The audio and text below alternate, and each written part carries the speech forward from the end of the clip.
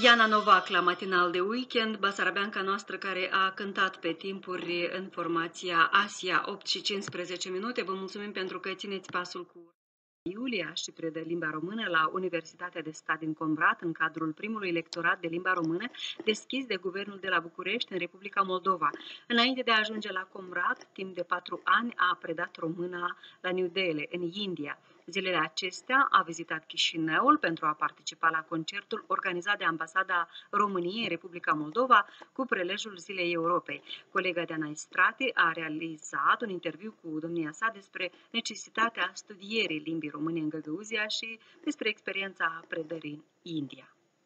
Bună dimineața și vă mulțumim că ați acceptat uh, invitația la dialog. Bună dimineața, este o plăcere pentru mine să fiu în studiourile Radio Moldova. Bună dimineața dumneavoastră și ascultătorilor dumneavoastră. Zilele acestea în Republica Moldova se desfășoară mai multe evenimente cu prilejul Zilei Europei. Știu că și dumneavoastră ați participat la un asemenea eveniment. Cum s-a schimbat viața dumneavoastră și dacă s-a schimbat uh, în urma aderării României la Uniunea Europeană? Cred că și viața mea personală și viața celor din jur s-a schimbat radical numai că noi avem deja 10 ani de când suntem membri ai Uniunii Europene și câteodată este greu să vedem schimbările respective. Dar dacă am putea face brusc un salt în timp, acum 10 ani, am constatat că societatea românească s-a schimbat radical. Și din punct de vedere economic este ceva mai multă prosperitate, dar și din punct de vedere al mentalităților și a libertății de circulație. Libertatea de circulație nu este doar un simplu cuvânt. Este o noțiune care a schimbat viețile foarte multor români și foarte multor oameni în general. Cum e să fii și să predai limba română într-un uh, stat care nu face parte din Uniunea Europeană? Într-un fel uh, este un sentiment de nostalgie pentru că parcă în anumite situații mă aflu în România uh, de dinainte de Uniunea Europeană și simt că unele lucruri prin care treceți dumneavoastră acum sunt lucruri prin care am trecut și noi la vremea respectivă. Deci din acest punct de vedere câteodată sunt ușor nostalgic și parcă mă văd în România de dinainte de Uniunea Europeană. De la jurnalul Indian, o carte pe care ați semnat-o dumneavoastră, dumneavoastră vă urmăresc acum și pe blogul personal, unde aveți un jurnal uh, găgăuz.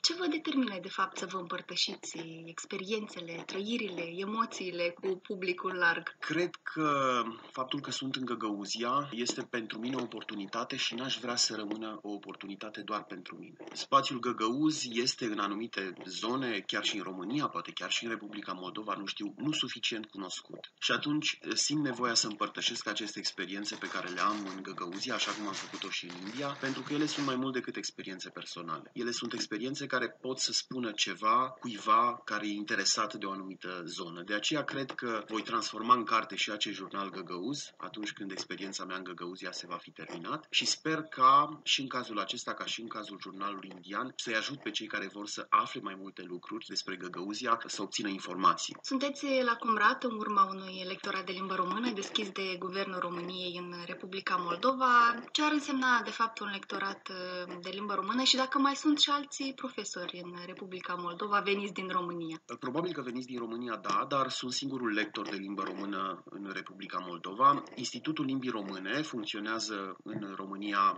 în subordinea Ministerului Educației și gestionează aproximativ 40 de lectorate în toată lumea. Ce înseamnă asta? Înseamnă 40 de universități în care se predă limba română. Așa am ajuns în India și, desigur, mai sunt colegi de-ai mei care predau limba limba română în uh, spații europene, în spații asiatice, în spații americane. Este o experiență interesantă. Așa cum menționați, ați predat uh, și în India patru ani, dacă nu da. greșesc. Uh, acum, la Cumrat, vreau să vă întreb dacă modalitatea de predare a limbii române diferă de la o regiune la alta și până a începe orele aveți nevoie ca să vă cunoașteți mai bine studenții, mediul? Firește, predarea unei limbi, a oricărei limbi, presupune câteva noțiuni de cultură a zonei respective. A preda limba română în India, într-un spațiu hindus, majoritar hindus, într-un spațiu care are o cultură și o civilizație total diferite față de ceea ce este în Europa, reprezintă un alt tip de provocare decât ceea ce se întâmplă în Găgăuzia. Așadar, înainte de a ajunge aici în Găgăuzia, am încercat să aflu câte ceva despre istoricul zonei respective și apoi, desigur, am încercat să vorbesc și încerc și acum să vorbesc cu studenții mei, cu prietenii mei de acolo, să aflu cât mai multe lucruri despre Găgăuzia, despre cultura lor, pentru că nu sunt în Găgăuzia doar să predau limba română, ci să încerc să realizez și un dialog între culturi. Ori de fiecare dată când încercăm să dialogăm, trebuie să fim atenți și la celălalt. Trebuie să vedem ce are el de spus și trebuie să încercăm să înțelegem care sunt perspectivele lui. Cine sunt studenții dumneavoastră și dacă pe lângă studenții de la universitate mai predați și altora limba română? Ceea ce este interesant cu acest lectorat este că el e gândit să nu se adreseze doar studenților. Oricine poate învăța limba română la Comrat. Fie că e vorba de funcționari publici, fie că este vorba despre oameni simpli care au diferite slujbe în Comrat și care vor să învețe limba română. Așadar, aceste cursuri nu se adresează exclusiv studenților, ci lectoratul acesta este gândit în așa fel încât să servească întregii comunități găgăuze. În momentul în care cineva are această dorință de a învăța limba română, poate să vină la Universitatea de Stat din Comrat și se poate înscrie la cursurile de limbă română. Aveți un număr la câți studenți predați limba română? Este foarte greu să estimez acum, pentru că deja sunt trei serii de studenți. Am avut și o grupă de profesori ai universității cărora le-am predat, dar aș spune că în total numărul aproximativ până acum ar fi undeva la 100, poate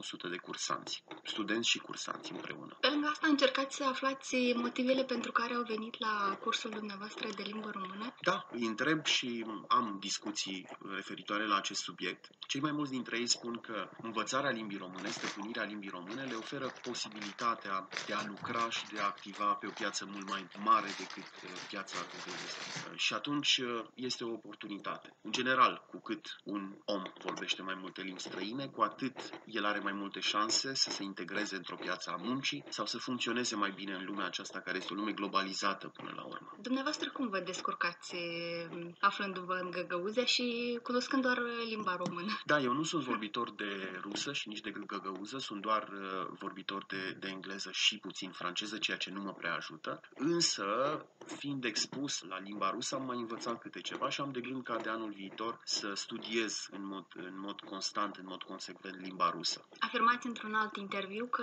a vorbi limba română nu înseamnă politică. Ați simțit asta în Găgăuzia sau în general în Republica Moldova? Ceea ce nu se întâmplă în România? Câteodată limba română este folosită ca unealtă politică, la fel cum și limba rusă este folosită ca unealtă politică, la fel cum și limba găgăuză câteodată este folosită ca unealtă politică. A vorbi o limbă înseamnă cu mult mai mult decât a exprima o identitate politică. De aceea am spus că a vorbi limba română nu înseamnă politică, pentru că poate mulți dintre cei care ar dori să vorbească limba română o asociază cu o anumită noțiune sau preferință politică. La fel se întâmplă și în cazul limbii ruse. Și cred că aceasta este o eroare. O limbă nu este vinovată pentru istoria neamului unde se vorbește. O limbă nu este vinovată pentru erorile decidenților politici din țara în care ea este vorbită. O limbă este o unealtă care ne ajută să comunicăm mai bine dincolo de zona politică, dincolo de diferențele și preferințele noastre. Știu că sunteți semnatarul a mai multor uh, volume, trei la număr, dacă nu greșesc, din ce am văzut și eu pe blog. Uh, vreau să știu dacă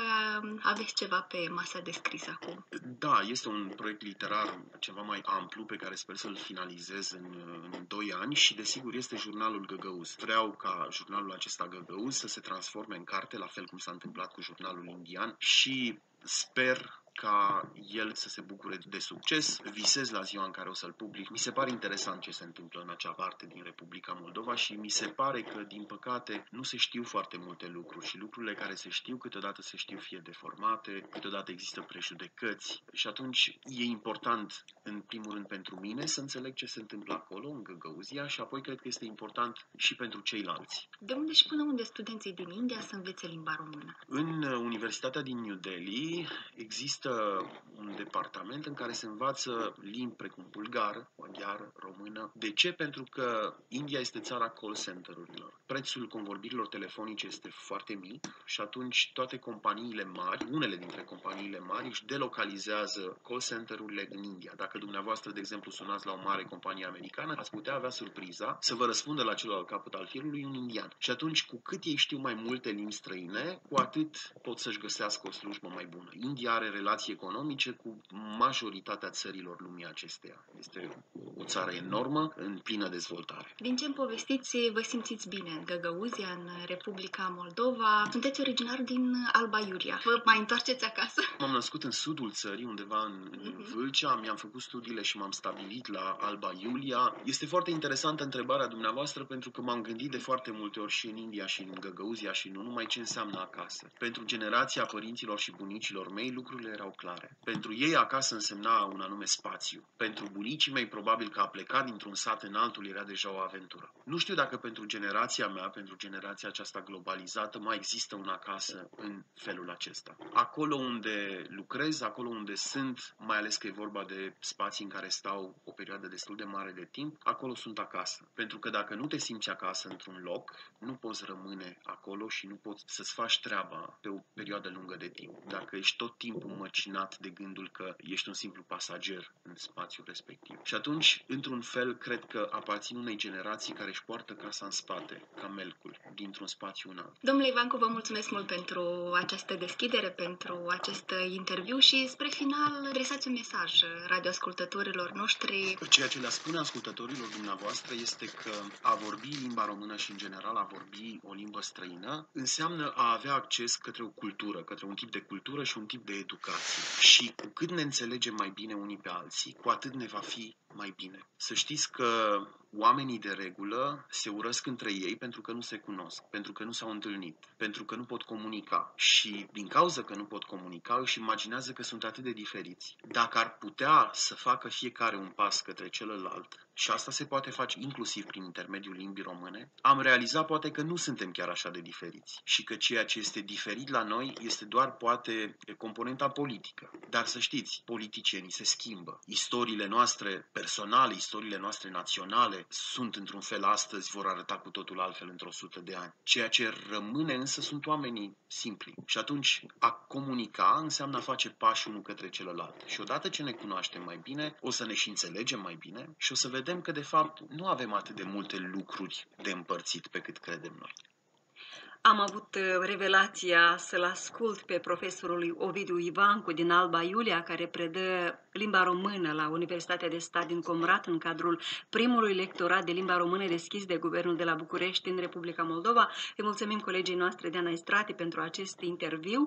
La ora 8 și 27 de minute